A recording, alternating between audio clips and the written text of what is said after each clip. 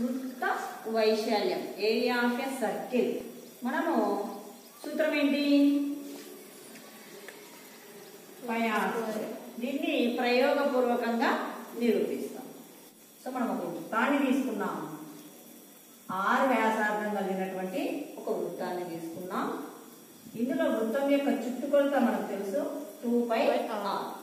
So ఒకే వైశాల్యం కలిగినటువంటి సెక్టార్లుగా మనము వీటిని కట్ చేసుకున్నాం. ఈ వృత్తాన్ని ఎన్ని సెక్టార్లుగా కట్ చేశారు? పదహారు సెక్టార్లుగా కట్ చేశారు. ఓకే. ఇప్పుడు మీరు వీటిని దీర్ఘచతురస్రంలో సెట్ చేయండి. ఓకే.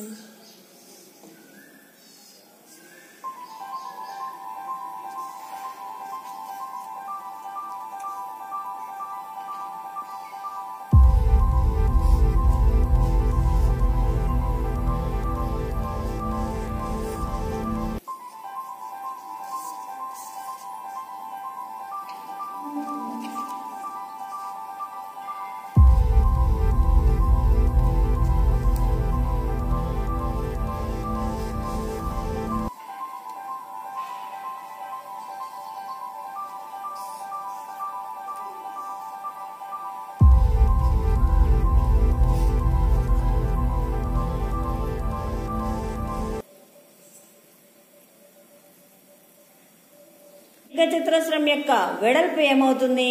వెడల్పు వ్యాసార్థమైంది కాబట్టి ఆర్. ఓకే. మరి పొడవు?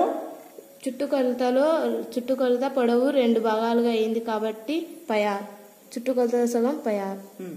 మరి ఇది సూత్రంలో ప్రతిక్షేపిస్తారా? చేస్తాం.